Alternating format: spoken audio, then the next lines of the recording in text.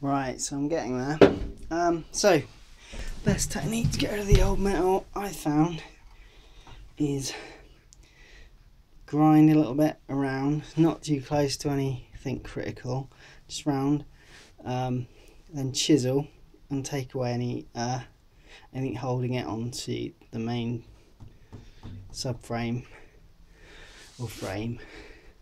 So yeah, grinder with a cutting disc and then chisel and then grinder and just make sure you grind not too close to anything critical.